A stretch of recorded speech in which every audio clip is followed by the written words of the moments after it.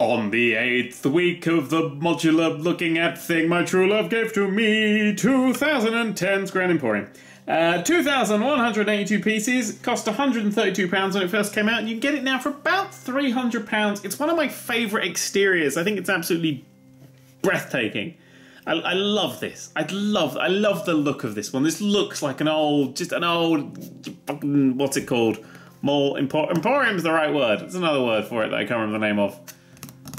It looks like Harrods. It looks like how I imagine Harrods. That's what I'm kind of going for. Like just a, a posh old fancy shop that you never went in. I like that its name is just shop as well. That's nice. I like that these letters are just sort of hooked onto a little bit of a, a bendy bar. That's quite a nice thing. My favourite thing about this set has to be the door, which is a uh, revolving door, which I love so very, very much. Oh, that's absolutely stunning. In the windows, you can just see some of the very slight interior. There's a few little hats and stuff on display. Very interior light, this one. Um, I don't think we get really much in the way of. I think we've got one more good interior, and that's kind of it on this series. And on this side, we got a few little uh, mannequins on this side, just wearing the latest in clothwear.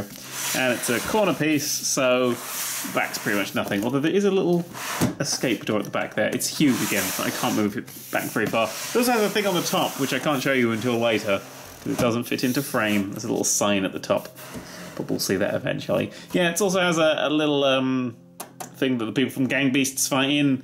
A little painter cleaner thing. Paint and cleaner thing, yeah, up there. Although it doesn't have a back for some reason. It's a backless paint and cleaner things for risky paint and cleaner people. Although then that make the painting and cleansing, e cleansing, cleaning easier. Can't speak this morning.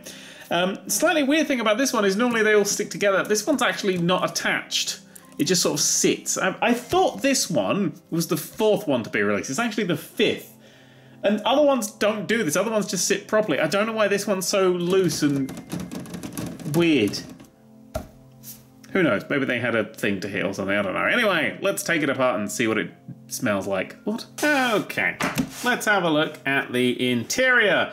Not really much interior in this one, but there is this escalator, which I love so very much. I love the way that that's done with the beam stuff. I, I think that's really gorgeous. I really, I do, I do like a good escalator, and that's a good escalator.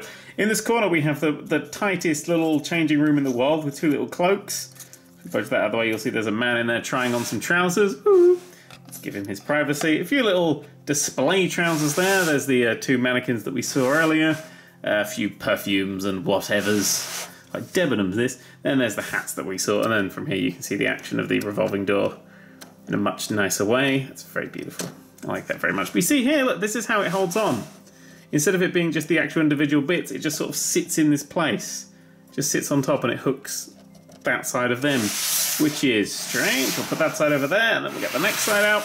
This side has two plates and some coloring. That's it. That's literally, I mean, we get pretty light on the interiors from this point onwards. That's sort of everything. Although the uh, windows are very nice from here.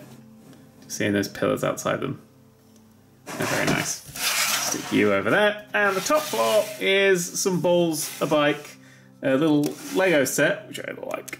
Or it could be just a toy, but I'm pretending it's a Lego set. And then this chandelier, which is held on here instead of at the top. So you have this beautiful chandelier. In fact, we could just pop that off. See, that is an incredibly nicely done chandelier. Very nice. Let's try and stick that back on without it all going to tits. How did I go on there? It goes on there like that. Voila.